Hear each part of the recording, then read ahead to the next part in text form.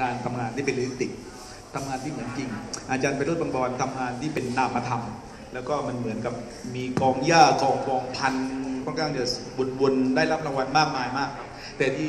ลึกๆของอาจารย์ไพโรจน์ วังบอนเนี่ยเป็นมือ realistic ฉมังคนหนึ่ง เพราะบางทีไปเขมรไปจังหวัดโน้นจังหวัดนี้กับผมเนี่ยอาจารย์ไปรูปบอลเขียนรูป realistic ที่เก่งมาก และเขียนที่ไวแล้วก็ใช้เทคนิคขูดขีด ฉะนั้นตรงนี้เนี่ยอาจารย์เนี่ยต้องการที่จะ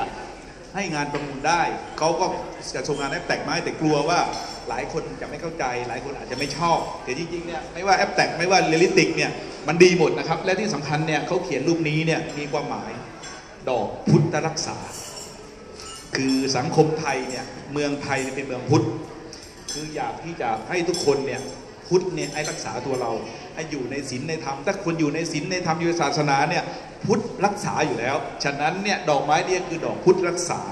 ฉะนั้นเนี่ยมีความหอมละมุนละม่อมมีความที่เออเขาเรียกอะไรนะฮะมีคือคือคือมีความหวานแล้วก็มีความนุ่มนวลอยู่เท่าในนี้คือใครที่เก็บรูปนี้ไว้เนี่ยคือต้องการที่จะบอกว่าพุทธรักษา แล้วก็ตอนนี้เนี่ยบ้านเมืองเราเนี่ยสาหัสสากันจริงๆครับเขาต้องการที่จะให้ พุทธรักษา จากนั้นเนี่ยเพื่อต้องการที่จะให้โครงการเนี่ยประสบผลสำเร็จเนี่ยหรือว่าอะไรก็แล้วแต่นะครับ ชื่องานชิ้นนี้พุทธรักษา เริ่มต้นที่ห้าหมื่นบาทครับ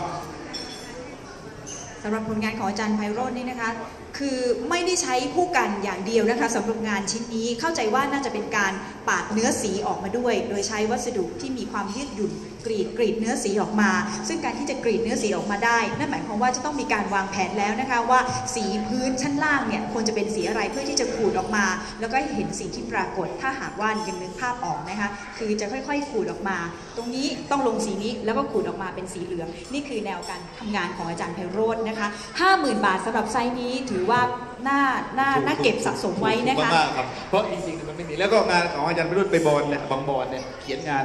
เอ่อธรรมชาติแบบเนี้ยแทบไม่เห็นนะครับ มีน้อยมากส่วนใหญ่ค่ะ จะมีงานที่เกี่ยวกับนามธรรม แต่ว่าครั้งนี้เนี่ยคือต้องการที่จะให้งานเนี่ยสลายจากภาพวาดกลายเป็นเงินเพื่อไปช่วยพี่น้องที่ประสบภัยน้ำท่วมฉะนั้นตรงนี้เนี่ย เขาพยายามที่จะทำเพื่อต้องการที่จะสนองผู้มาประมูลเนี่ยได้เห็นคุณค่าของงานของเขาเพื่อต้องการที่จะเอาเงินไปทำการช่วยเหลือแก่พี่น้องพวกเราต่อไปนะครับห้าหมื่นบาทครับ50,000บาทค่ะครับเอาพี่สุให้แล้วขอบคุณมากครับพี่สุเบอร์สามสามครับขออนุญาตยกครั้งละหมื่นนะคะครับสำหรับงานอาจารย์ไพโรจน์ครับตอนนี้50,000นะคะ ผมนับเลยนะครับห้าหมื่นบาทครั้งที่หนึ่งครับ ดูตาผมนะครับเรียกเรานายกอีกรอบเบอร์สามห้า หกหมื่นบาทครับเบอร์สามห้าครับ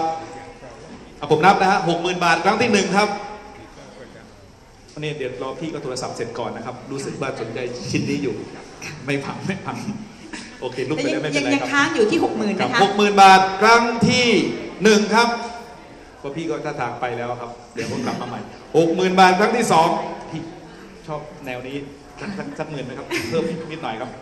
คือคืเชื่อออาผจารมย์ก็ปรึกษากันอันนะฮะพี่ยกเลยครับ เบอร์ยี่สิบเจ็ดเจ็ดหมื่นบาทครับ ขอบคุณมากครับ คือหมายถึงคอร์สหรือยังคะเนี่ยไม่ยังยังไม่ไม่เคาะเจ็ดหมื่นบาทแล้วครับอ้าวเจ็ดหมื่นบาทครั้งที่หนึ่งครับ ผมจะไม่ไม่บวกแวกแล้วผมไปแล้วหกหมื่นเจ็ดหมื่นบาทครั้งที่สองไม่มีนะฮะพี่โชคดีมากเลยครับเจ็ดหมื่นบาทครั้งที่สามครับขอบคุณมากมากครับค่ะขเบอออนุร์ญายี่ตสิหบมายเจ็ดเลขครับครั้งหนึ่ง